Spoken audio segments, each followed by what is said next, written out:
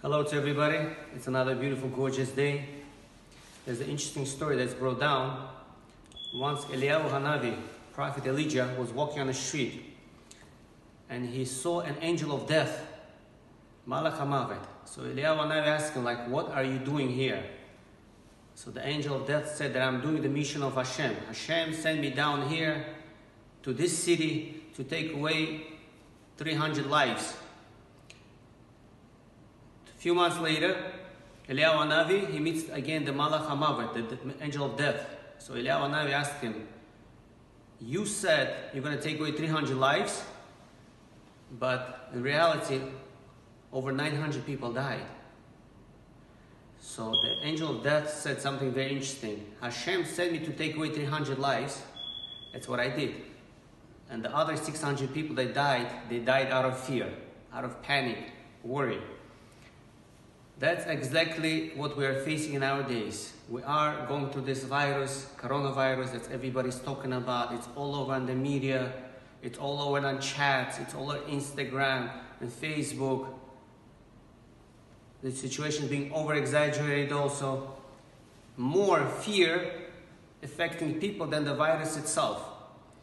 If you, if you speak to the doctors, they'll tell you small percentage of people come to the hospital due to the virus. The rest of the people come due to the panic, fear, anxiety, panic attack. And it's all because we spend too much time investigating to this bad news. We spend too much time on our chats. Many people have uh, over 20, 30 different chats. Every few seconds there's another ring on the chat. Something else happened. There's too many negative news.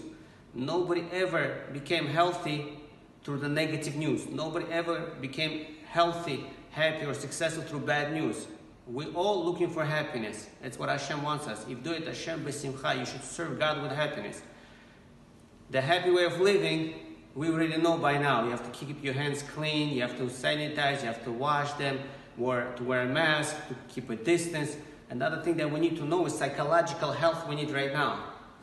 Is stop watching the negative news. Even throughout, throughout a year, throughout a year, even when there's no virus like that we're facing now, we're still going through the bad news. People love to watch news. We never hear anything positive on the news. Nobody ever became healthy or strong or successful through the news. If a person wants to watch, watch something positive, something healthy. Unsubscribe yourself from those negative chats that makes people psychologically sick. Uh, I have a friend that works in Hatzalah. Unfortunately, they're working very hard, full time. Most of the people, they think something wrong with them. There's nothing wrong with you. We're all happy. We're all healthy. It's all psychological health. Many people are suffering right now. It's a huge change in the world, but it's all about mindset. If a person's sitting at home, what's your mindset? What's your mindset? Am I punished? If the mindset is I'm punished, I feel like I'm locked up and I have nowhere else to go, I have nothing else to do, that really hurts us even more. But if a person changes the mindset, well, I'm very fortunate I could stay home, spend more time with the family, have more time to get ready for the Pesach. Throughout a year, we all wish to have free time. That's exactly what happened. Now we all have a lot of free time. So if it's a different mindset, look at the situation through happiness. People feel different, people sleep different, people eat different. But now, unfortunately, I have a friend that works in pharmacy. He tells me most of the medication people come is antidepressants. People coming for antidepressants. Psychologically, a lot of people are affected. We just have to change our mind mindset. We should not look at the situation that I'm tied up, I have nowhere, I'm not allowed to be in the streets, I have nowhere else to go, I'm punished. You're not punished. It's just Hashem heard our prayers because throughout the year, we ask, we ask Hashem like, oh, I wish I had more free time. So Hashem heard our prayers. We have now more free time.